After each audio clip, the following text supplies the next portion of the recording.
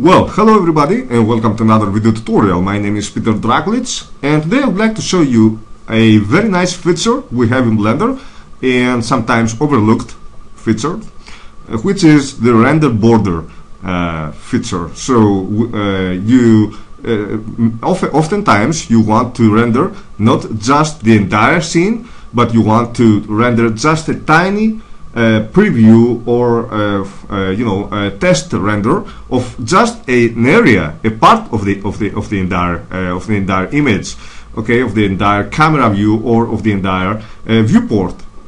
So in that case, there, all you need to do is to press N and bring the side panel here, and then let's enable, by the way, the start display screencast uh, add-on here, so you can see the shortcuts down here.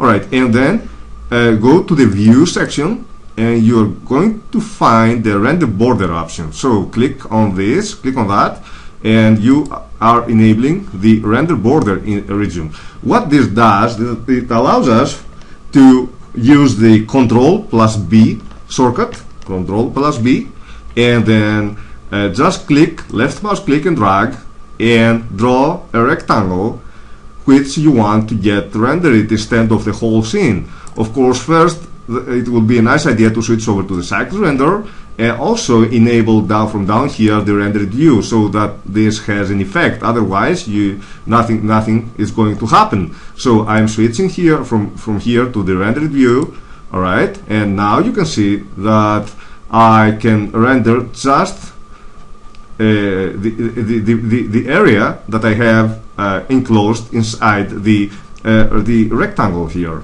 Okay, now at the bottom left down here you can see that we have some sliders here that allows allow us for uh, adjusting with more precision the dimensions right, of the of the sides uh, of the rectangle and to position the sides of the rectangle okay?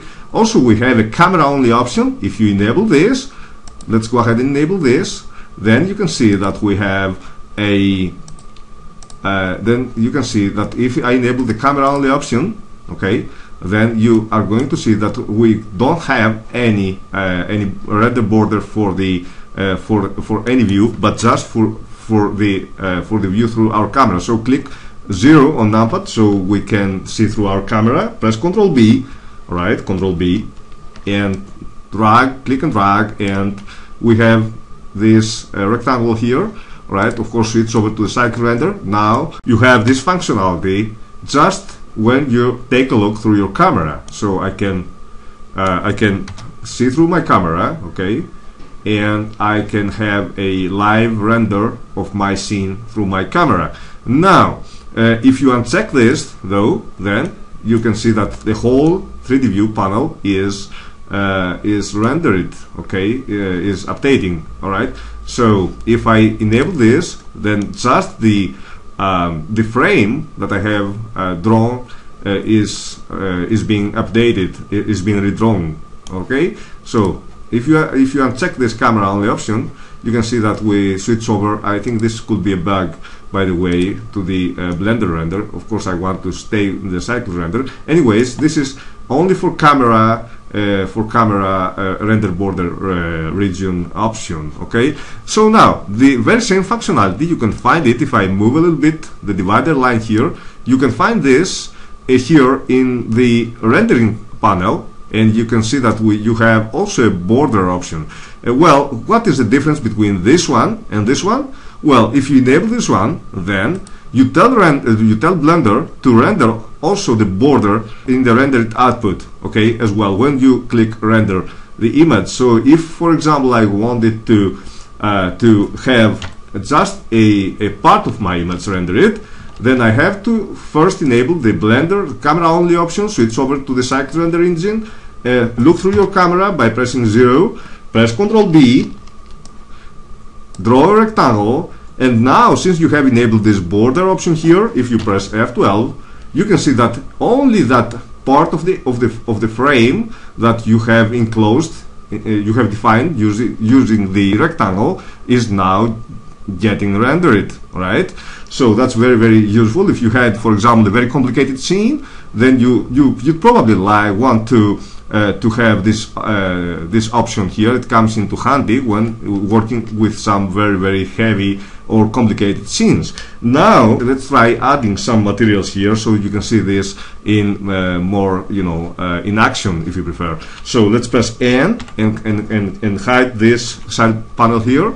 And now let's go ahead and uh, let's say uh, switch over to the lamp object here select this from the outliner and go down where it is the object data for the sun for the lamp and make this lamp a sun, a sun lamp.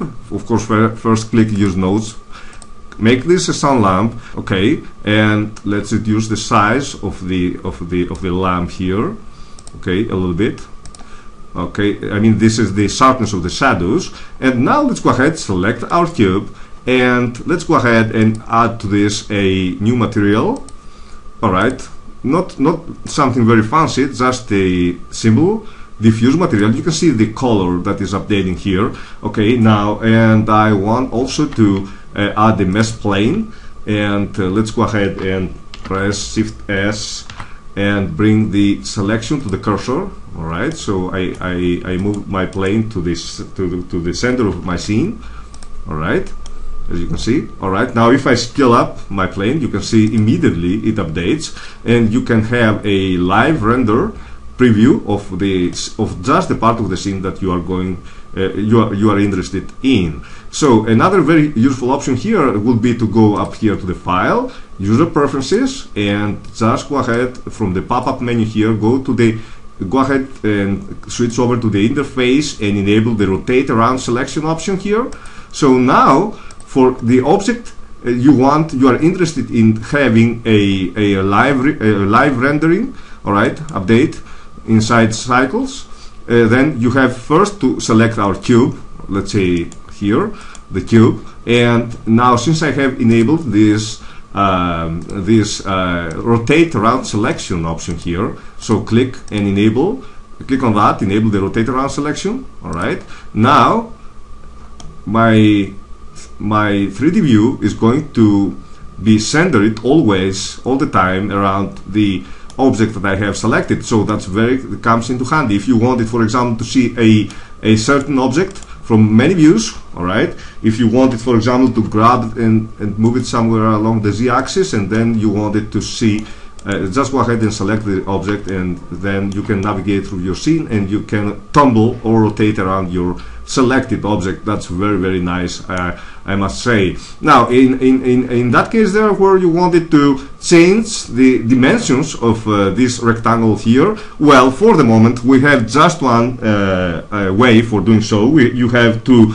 retype uh, reuse the control plus B shortcut.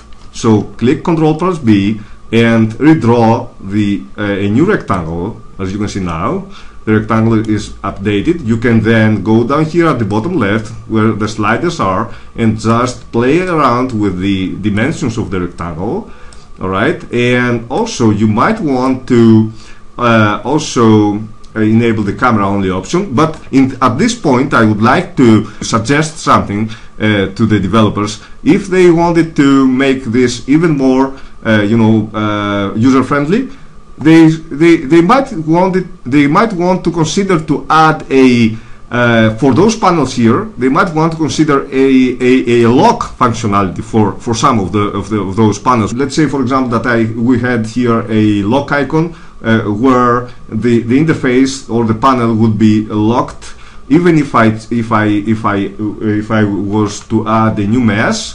In, in our case now, well, you can see this uh, this operator panel here. It changes to uh, the add plane uh, menu. But if I wanted it to stay there, locked, that would be very very useful if we had a, a lock functionality, or equally if we had a button for separating this manager here. I mean this uh, this uh, menu here uh, in the form of a floating menu, and so I could always Eh, have uh, the, uh, the, the, those sliders for the rectangle available in my in on my interface. Okay, just I'm proposing this, and that will be really, really, very nice in terms of of, of user-friendly you know functionality for the Blender interface.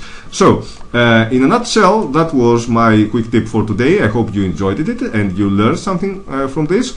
And um, so if you like this, don't forget to subscribe. See you next time uh, with another interesting topic, hopefully soon. Until then, have fun and goodbye.